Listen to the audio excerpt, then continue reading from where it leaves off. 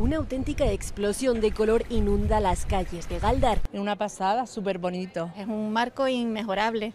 Estamos encantadas. La primavera sin duda ha llegado pisando fuerte en este municipio de Gran Canaria. Y lo que no me imaginaba era lo de las flores, que ha sido espectacular. Este año, acompañadas de animales, son 11.000 flores las que llenan las calles en esta edición de Galdar en Flor. Y poder estar aquí disfrutando de esta cosa tan maravillosa. Muchos están disfrutándolo por primera vez. O no lo había visto, no lo había visto. Acabo de llegar ahora y me quedo impresionada. Una idea fantástica.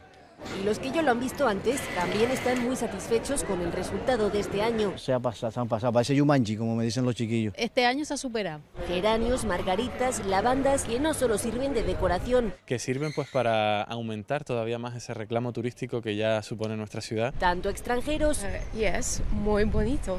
Como locales. Muy, muy bonito, la verdad que, que sí. La opinión es unánime. Un acierto. Porque de lo que no hay duda es de que Galdar estos días está para echarse flores. フフフ。